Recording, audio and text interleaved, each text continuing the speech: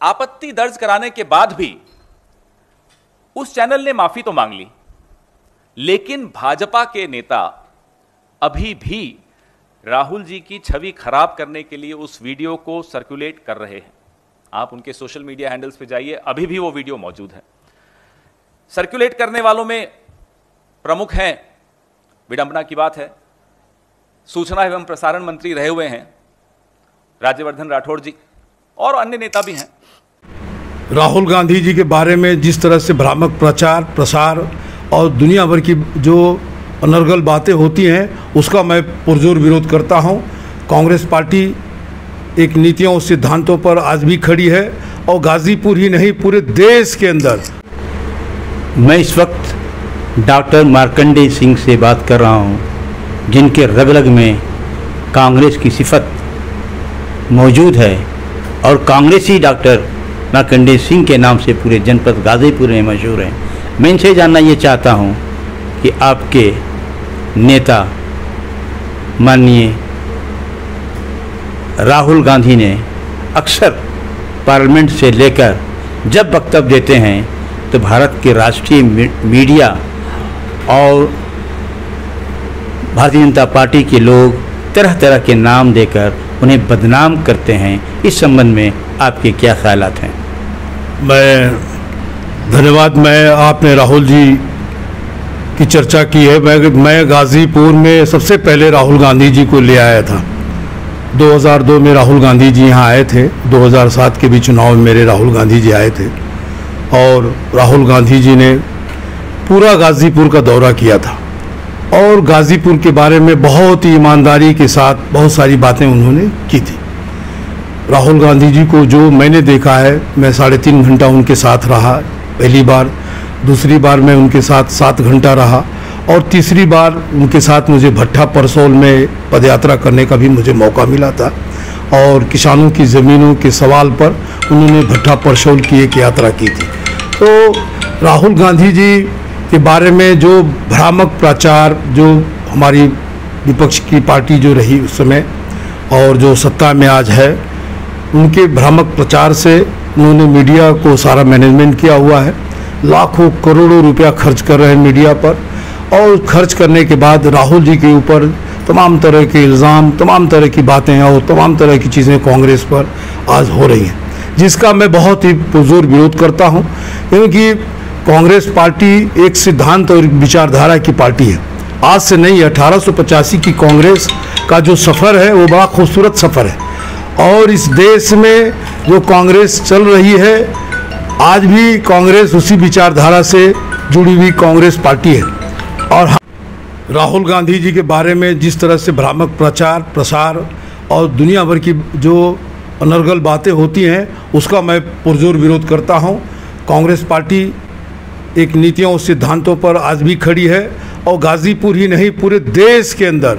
गाज़ीपुर तो वो ज़मीन है जहाँ यहाँ के नौजवानों ने उन्नीस सौ बयालीस में अंग्रेज़ों से सीधे सीने में गोली खाई थी। मोहम्मदाबाद इसका जीता जागता उदाहरण है। यहाँ का जो नौजवान है बीर अब्दुल हमीद, यहाँ का जो नौजवान इस देश की लड़ाई में कुर्बानी देने के लिए हमेशा तत्पर रहा है। मैं तो एक फ़ौजी का बेटा हूँ और मैंने बहुत नज़दीक से इन सारी चीज़ों को मैं देख रहा हूँ, जान रहा हूँ। मैं तो कांग्रेस पार्टी जिस तरह से राहुल गांधी जी को बदनाम करने की कोशिश आज भी की जा रही है, रोज़गारी, बेरोज़गारी के सवाल पर राहुल गांधी जी ने जब इस देश को, यहाँ के नौजवानों को खड़ा किया ये जो जिस तरह से फौज में चार साल के नाम पर, भर्ती के नाम पर, मेरे तो पिताजी फौजी रहे, मैं जानता हूँ नाम पर किस तरह से इस देश के नौजवानों का शोषण होगा जो सामने दिख रहा है। राहुल जी इसके लिए चिंतित हैं। और चारों तरफ़ जो भय और उसका वातावरण जो लगातार भारतीय जनता पार्टी बना रही है, जिसका पूरा का पूरा मुल्क जल रहा है और इसका सबसे बड़ा उदाहरण चारों तरफ़ दिखाई दे रहा है, उसके बावजूद भी सुप्रीम कोर्ट तक ने इस बात को कहा है, फिर भी ये भारतीय जनता पार्टी के लोगों के चेहरे पर कोई सिकन नहीं है, इससे बड़ा फरेब, इससे बड़ा झूठ, इससे बड़ा क्या हो सकता है? मैं राहुल गांधी जी के साथ हूँ, कांग्रेस पार्टी के साथ हूँ, हम लोग कांग्रेसी हैं और मरते दम तक कांग्रेस के नीतियों और सिद्धांतों के लिए काम करते रहेंगे। न किसी पद की लालसा है और न किसी चीज़ों की कोई कामना है। लेकिन कांग्रेस पार्टी की विचारधाराओं से जुड़े होने के नाते कांग्रेस में होने के नाते कांग्रेस की नीतियों के नाते और इस मुल्क में प्रहरी के बेटे के होने के नाते मैं निश्चित तौर पर कांग्रेस के सहित इस मुल्क की रक्षा के लिए अंतिम समय तक कांग्रेस पार्टी के साथ रहूँगा और अपने प्राण के न्यौछावर भी कर दूँगा। लेकिन राष्ट्रीय अध्यक्ष रा, आपके राष्ट्रीय नेता के खिलाफ जिस तरह से दुष्प्रचार किया जा रहा है वो अपनी उनकी पार्टी पे दफ्तर पे हमला होता है उसके बारे में कहते हैं। उसके बाद लेकिन लेकिन प्रचार कुछ और किया जाता है। इस संबंध में क्या कहना आपका? देखिए बड़ा स्पष्ट है। कुछ सिरफिरे और कुछ अराजक तत्व तो इस समाज के अंदर और पार्टियाँ एक बड़ी सोची समझी रणनीति के तहत हमारे रा, राष्ट्रीय अध्यक्ष राहुल गांधी जी जो रहे हैं, उनके दफ्तर में जाकर जिन लोगों ने वायनाड में तोड़फोड़ की, उनका पर्दाफाश हुआ। और पूरे मुल्क के अंदर जिस तरह की तस्वीर बनाने की जो कोशिश की जा रही है पप्पू हैं, आतंकवादियों से मिले हुए हैं, ये है।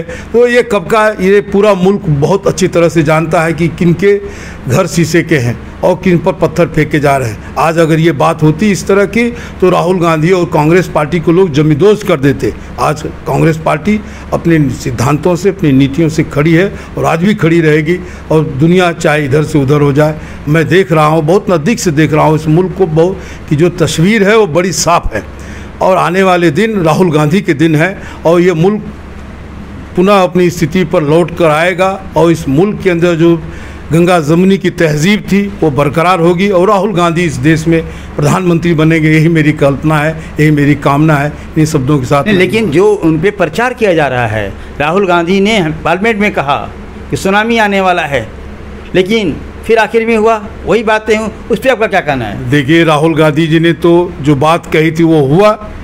आज जो कोरोना को लेकर के जिस तरह से नाटक हुआ, और लाशें बह गई, हर घर में मौतें हुई, कोई ऐसा नहीं था जो मरा ना हो।